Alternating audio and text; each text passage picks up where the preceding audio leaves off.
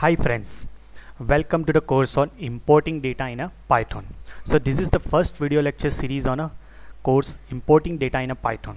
So in this course we are going to see about how one can import a different data type or different data available at a various location on either on internet or on a database or on your local hard drive and different kind of file you can import into Python. So what do you mean by importing data? Importing data means nothing but a reading data.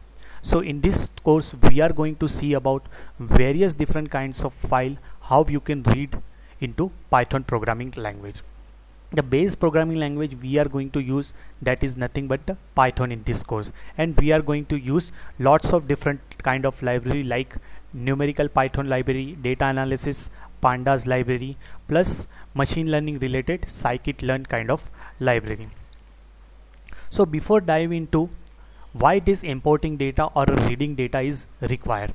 So if you see any standard block diagram of data analysis process, in the case of data analysis process, if you see before doing any kind of operation like a data cleaning, data munging or applying any machine learning algorithm on the top of it, you need data and how that data is available to you in a Python programming language. For that you need to import those data in short you need to read those data. That's why this importing data before doing any kind of manipulation on the top of data you require to import this data. You need to read those data.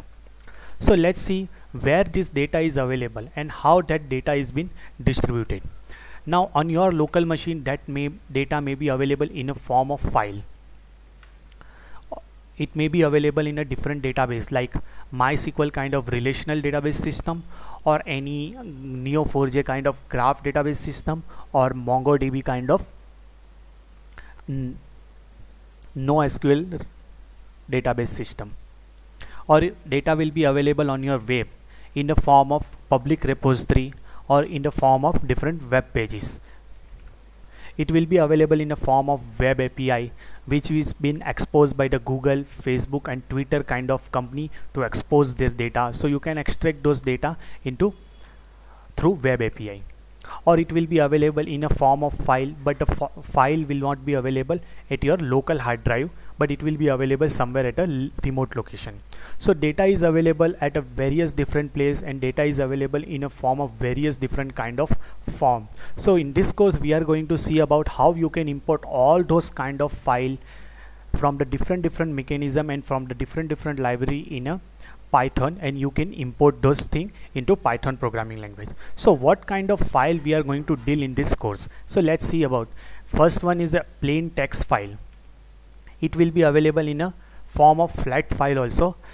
The common acronym for the .csv which is nothing but the common acronym comma separated value and a tab separated value. This is one of the very uh, most favorite file by the data scientist people it will be available in a form of MATLAB a very famous uh, software by the matrix laboratory company. It will be available in a form of excel file. You can read about the database file like a SQLite or a NoSQL database kind of file. It will be available at some remote location like a, in a form of .json or .xml format or it will be available in a .html format and you can do all kind of operation like a scrapping on the top of it or it will be available in a form of web API. So in this course we are going to see about all those kind of file and how you can import into Python.